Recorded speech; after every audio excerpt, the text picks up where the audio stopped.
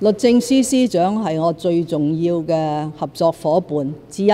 亦都係我嘅法律顧問。如果我對呢一位出任律政司司長嘅人選呢，係有任何剛才陳議員講嘅懷疑呢，我一定係唔會誒、呃、推薦佢獲委任成為律政司司長。所以簡單嚟講，我我當然係信阿鄭司長啊。